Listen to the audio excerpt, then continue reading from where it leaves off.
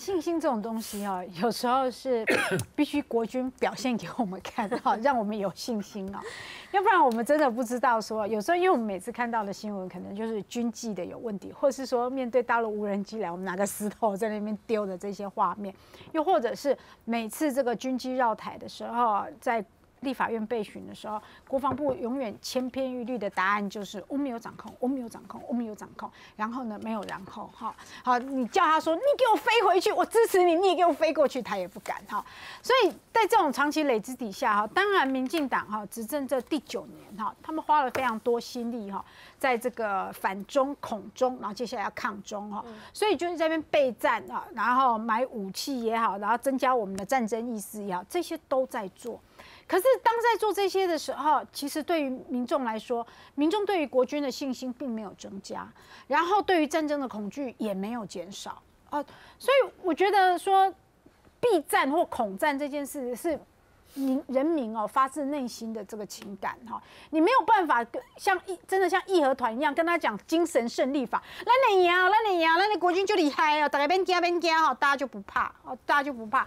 所以当这个民养叫高中生签这个同意书的时候，家长就开始骂的要死。然后这几年呢，这几年你知道我们民意代表接到很纯情、很大、很大宗的是什么？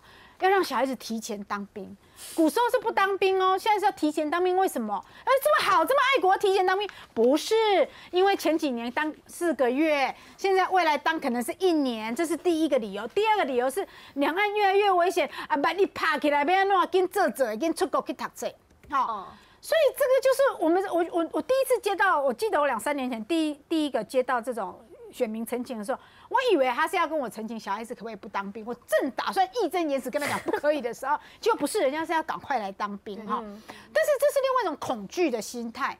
过去不想当兵是怕小孩子累，那是怕累啊。现在不想当兵或是急着赶快当完兵，是怕战争哈。所以我觉得民养这几年一直在跟我们灌输一个说你要备战哈，备战才能避战哈。但问题是，大家觉得你一方面这样子讲，可是一方面做的好像你除了备战，还要迎战，还要挑战，好，还挑战对方，我力来啊，我力来啊，哈。问题是，你有没有想过说，台湾民众对自己的信心怎么样？还不要说对国军的信心怎么样，嗯，对我们自己的信心怎么样？好，战争真的来的时候，我们准备好了没？还不要问国军准备好了没？我们准备好了没？我认为民众人民也没有。